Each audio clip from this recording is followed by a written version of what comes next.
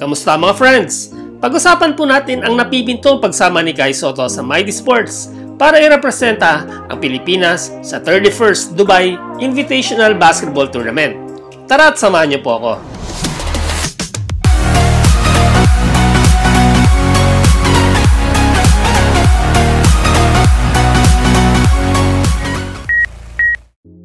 Nag-agree na nga po si Kai Soto para sumabak kasamang Mighty Sports para i-represent ang bansa sa 2020 Dubai International Tournament.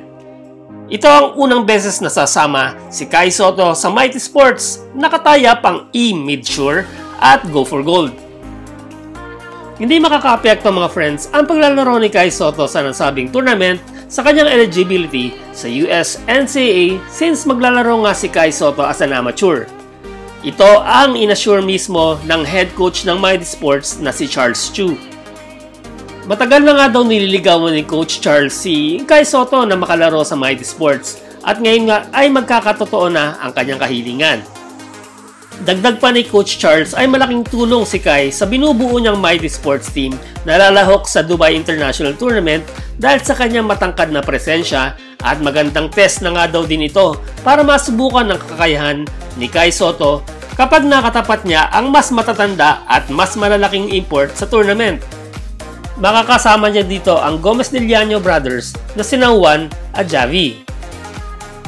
Nagpahayag nga ng damdamin si Kai Soto sa kanyang Twitter account at kanyang nasabi na masaya siya sa pagbabalik sa January sa Pilipinas para simulan ng training with the team at susubukan nga daw nila this time na maiuwi ang gold medal kung saan nakakuha ang Pilipinas ng bronze medal this year sa pangunguna ni Justin Brownlee.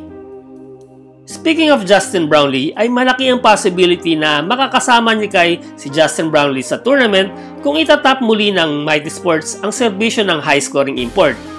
Since ito ay magaganap sa January 23 until February 1 ng 2020 kung saan inaasahan na tapos na ang Governor's Cup ng PBA.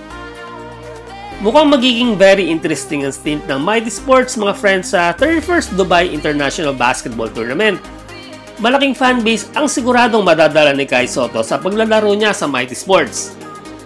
Abangan na lang po natin ang iba pang players na makakasama ni Kai Soto sa team. So hanggang dito na lang muna po tayo. Friends, this has been FD368. Be good and God bless.